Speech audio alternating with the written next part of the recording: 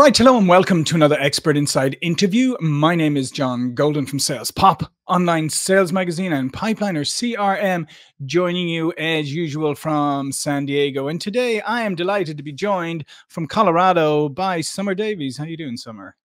I am so well, John. Thank you so much for having me here. Yeah, yeah, of course. And Summer is an award winning leadership development expert with over 15 years of experience. She helps burgeoning leaders develop the mindset and tactical skills to lead with impact, confidence, empowerment, and a genuine love for what they do.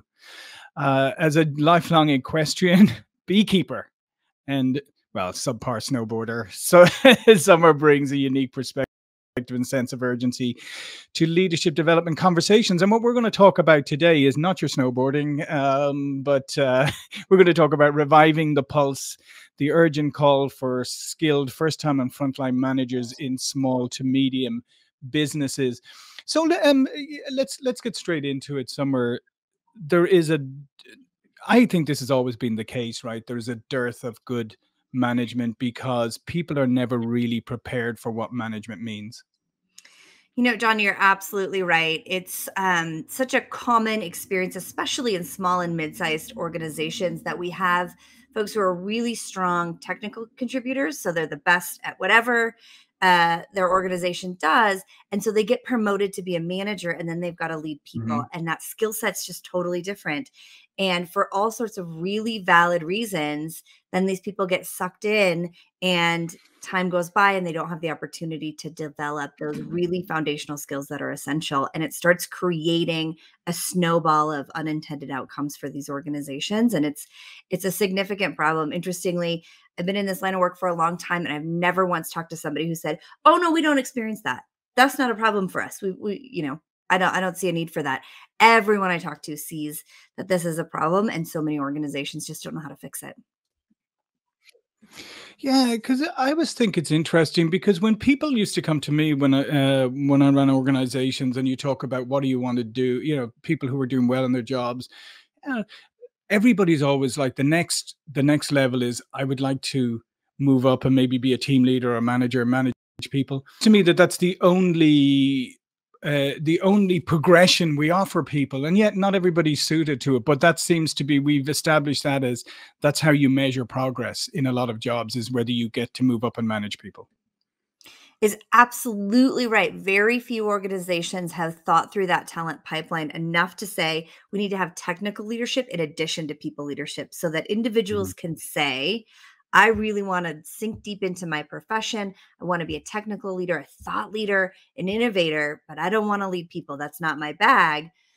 And then some people who say, you know, I, I like this line of work and I'd really love to help others get great at being able to do this too. And I want to have my profession be leading others. And they really are two different things. Mm-hmm. And some organizations just don't have the scale, they're small. And so that's not possible for them or they try to do that but they don't make it simple for folks to be able to get into people leadership try it out and then without losing face without feeling like oh maybe i've i've failed here say not for me.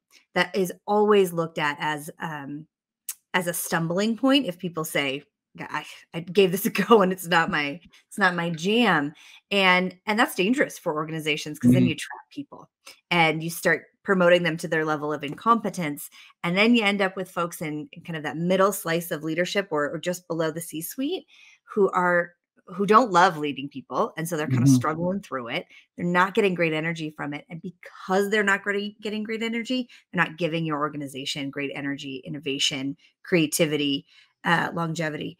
Uh, so it becomes this kind of vicious cycle that uh, yeah. that we can fix, but it takes just some self self awareness for organizations maybe to say, hey, this is reality of where we are. Yeah, no, absolutely, and that's why I always uh, always think that it's it's important to, for people to understand the reality. Because I used to say to people, like, why, why do you want to manage people? And you know mm-hmm. they give the thing and i said can i can i just give you an idea of what managing people is like? I said number one is you're part psychologist you're part um, parent sometimes you're a punch bag sometimes you're a lot of different things and you have to be prepared for that and the dynamic is going to change with those around you. That's the other part of it the, the, people you and you may say oh well i get on great with them and they really respect me and all that and say, it doesn't matter the dynamic is still going to change and you need to be prepared for this it's so right. And I think that question that you're saying there about why do you want to lead people? So many folks get a slick answer for that. They've mm-hmm. got something great in the interview, and it doesn't necessarily connect to this is what I want to do mm-hmm. with my career. I want to help bring out the best in others. I want to develop others. And I know, much like you said, they're parenting, it can be so much fun. I've got little girls myself, so I know it can be so much fun and it can be the hardest job on mm-hmm. the planet. Leading people is quite the same. Although you're working with adults, it can be so much harder than people appreciate. Mm-hmm. And mm-hmm. it can be so much fun if you're yeah. skilled at it. And when you have managers that are having fun with it and are skilled at it, then you've got folks who are having fun working at your organization. And then you get all those great benefits that every organization is chasing um, and finding hard to to achieve, especially now. And and one of the other things, Summer, is like people will you know put you into a management position and then say, "Great, now go go coach those people and get them better." But they don't teach them how to coach, and coaching or coaching is a skill in itself. And most people don't understand it. Most people's idea of coaching is their is their high school coach screaming at them from the, the sideline, telling them what to do and that's what they tend to bring into it then they go well if i tell somebody exactly what to do and they do it then that's progress instead of saying no how can i help that person develop and maybe they'll end up doing it slightly differently for me maybe even better absolutely coaching is a skill and knowing the difference between when to coach when to give direction when to mentor what those things are why are they different how do you flex your style that's that's a challenge. I know very few people, if anyone, who just know that inherently. Either they've seen it, if they're good at it, maybe they saw it. But I have actually funny story about this. I, I mentioned in my bio, I'm a subpar snowboarder. Mm. I learned to snowboard as an adult, which I grew up on skis. I knew how to ski, but as an adult in my 30s, I decided to learn to snowboard. And I've never seen a more beautiful example of somebody who had the ability to mm-hmm. take someone and move through those different styles of leadership than my snowboarding teacher. Wow. It was a small mountain. He was a teenager. So I looked at this guy and thought, oh, here we go. This teenager is going to teach this 30 year old lady how to snowboard down the mountain. And instead, he had such a beautiful way of seeing, okay, in this first moment, she's got no clue what she's doing. I need to step by step, mm-hmm. be very directive, right? And then as she starts getting better, bring the direction back a little bit, bring the motivation and the coaching up as they're having the moments where it's really hard. And then she starts to get it, start really acting more as a coach, bringing out what she already knows and encouraging her to continue to get better. That beautiful application of skill may be one of the only natural people I've seen be able to mm-hmm. do it. And we see leaders get stuck where they say, Well, I'm really great at telling somebody how to do something. So I get stuck there. And then they end up being a micromanager. Or I'm really mm-hmm. great at being a coach, which sometimes is great. And sometimes if you have somebody who has no idea what they're doing, makes someone feel like they're lost. Yeah. And so knowing how to flex that style shows up beautifully in a progression when somebody's learning something new, like my snowboarding experience, but it also shows up beautifully in leadership when somebody can flex those styles and give their people what they need in that moment. And that's not a skill most people know, but it's absolutely learnable, especially when they're new in in leadership. Yeah, and that's a, and that's a great point that you made there because we because sometimes people tend to adopt a one size fits all, but let's face it, we're all individuals, we're all different, uh, and to be a really good manager or leader is you know you have to know how to communicate with the different individuals, right? I mean, there's mm. obviously general communication, but the nuanced communication, like you may receive something in a different way than somebody else does, so I may have to give, deliver a message differently to you than I would to a colleague. Absolutely. And so having that emotional intelligence, that self awareness, maybe a little bit of empathy, some magic soup that comes together. And over time, leaders are able to flex that and change it depending on who they're working with. And even within that individual, what the task is. So classic situational leadership stuff, right? Mm-hmm. Being able to say, yeah, this is my superstar, but maybe something's new. Maybe something's changed and, and they might need something different from me than what I generally give. And uh, and that's again that's something that leaders tend to overlook the importance of um, and often organizations assume leaders just know how to do that when mm-hmm. that's not really a very fair assumption and i think the other trap people fall into uh, Summer you probably come across this is that we naturally for some reason humans like is we go to where we see all the problems, right? So we go, mm. oh, look, this person over here isn't doing that well. I'm going to focus all my energy on them and you know, you maybe you get a five percent improvement on them, makes kind of very little difference overall. However, you've got these top performers or people are doing well over there. Now, if you can help them increase 5% or whatever now you've got something significant but but a lot of times we always default over here to just looking at and focusing on the problem areas and we don't do enough to we don't focus enough on helping people be successful it's absolutely true. We're great at putting out fires because we can see them, right? Uh-huh. And most organizations don't need a manager to be a firefighter, although they might think they do. In fact, mm-hmm. they need a manager to be a great developer of people. And that's a different skill than putting out a fire. And sometimes it can be easy to say, oh, this person has this burning problem that's causing all these waves in the organization. Maybe we do need to address that. Mm-hmm. But if you put that same energy into developing the person who's just a touch away yeah. from greatness, there's where those brilliant ideas that are just hiding inside the brain of that person can start exploding out and make the difference in your organization. Um, opening that door for those folks and and putting that same energy into development versus firefighting again yeah, of course you've got to address the issues if they are sure. serious but putting the energy into the development can prevent those issues from being just an ongoing firefight and that's where managers get exhausted they because they're trying to fight fires and they don't know how to keep them from starting because they're just starting too late. They're not starting with the development yeah. And that can be, and that can come right from the top. I worked for an organization one time that was, oh, eh, probably the best crisis firefighting I've ever seen by the executive team. Like they, if there was a problem with a, a, a, a big customer blew up, they'd fly us all in. We'd all get together. There'd be, you know, eight of us, you know, senior executives, all people from all over. We all put out, put out the fire. Everything's great. And then we go back to normal uh, because they yeah. had no interest in fixing any of the things. They loved the, they're almost like addicted to the crisis management, I think. There's some interesting research right now about how addicted our brains become to crisis and to stress. Mm-hmm. Uh, we're really good at becoming addicted to that. And the story, unfortunately, that I, I tell often when I'm working with organizations and leaders is about firefighting a little bit. Um, and it's the Challenger disaster, which was a which was a NASA mm-hmm. launch yeah. that happened in the 80s. I was a kid then. So if people are a little bit younger than me, they may not remember this, but I do. I remember it really vividly. Right? NASA launches this this really anticipated and exciting um, rocket and it's live televised and just a few minutes after it goes into the air whole thing explodes kills mm-hmm. everybody on board it's a huge tragedy um, embarrassment for for NASA and and heartbreaking for the families of the people who were on board. And even more devastating is that people who worked at NASA knew mm. that that spaceship was going to explode. They knew weeks before, they knew months before.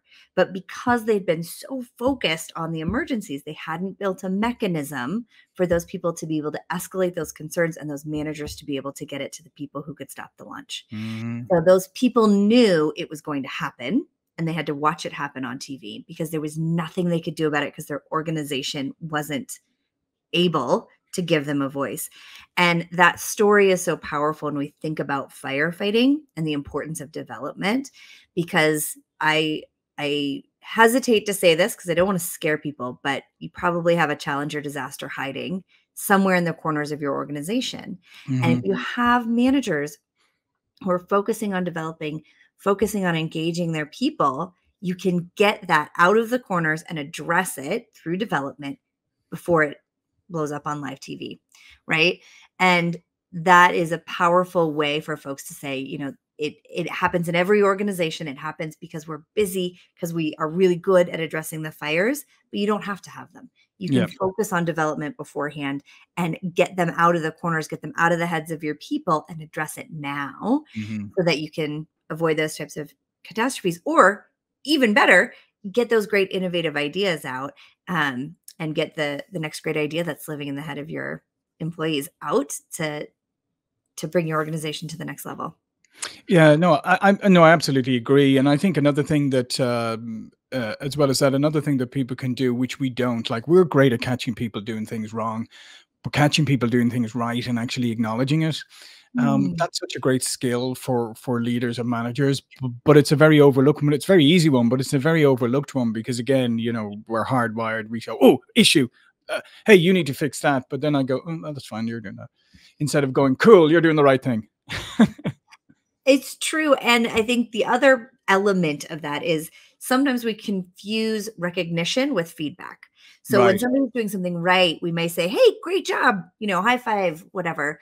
Give them a kudos or whatever. Some organizations have really cool ways of of giving people a a reward or something if they're doing something great.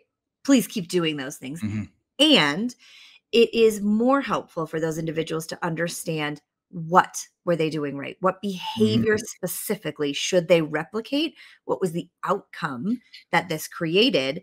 Because sometimes, you know, let's say you've got a, a big a big visit coming from corporate or something. Yeah. And they come in and they're like, "Hey, you know, team, great job." And then they walk out. The team may be really feeling good about that, but do they know what was good? Do they yeah. know what hit the mark and what they should replicate for the next time?